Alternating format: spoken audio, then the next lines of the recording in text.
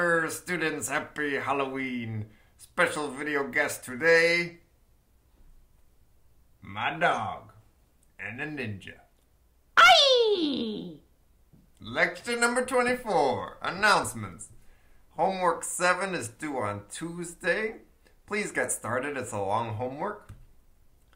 Project 1 composition revisions are due on Thursday. So this allows you to get back whatever points you lost on your composition score for Project 1 just by revising your project according to what your readers suggested. And that's all that's going on this week. Since we have some extra time, let's talk about some pirate jokes. What do people fear most about the dread pirate Lambda?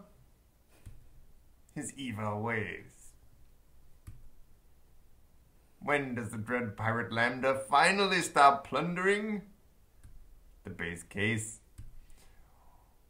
What did the dread pirate Lambda say when he dropped his fruit overboard? I'm, I'm kind of proud of this one.